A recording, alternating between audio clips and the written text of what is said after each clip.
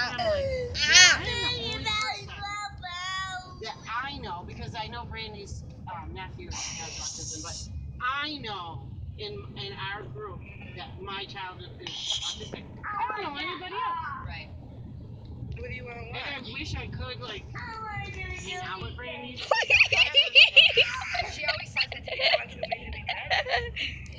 I went to that meeting You can watch movies to be for pirates. parents, and I just felt that's kind of how it felt. But we don't have Like to. I didn't want to talk to them. It's all different things. We don't have But to. We can yeah, this is just for kids, you know. Right. I'm glad that it's so long that it gives you You time because Joe watch takes so long to learn. Does love to swim. Joe, look at all the pumpkins. Zoomy, zoomy. You see treasure. him? He's like, I worked in a kitchen.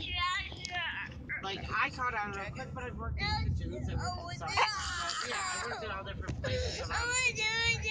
So you know everything's gotta be clean and dry and put away nice. That's common sense, but oh, come on. Are you serious? The whole time, I'm sorry. the whole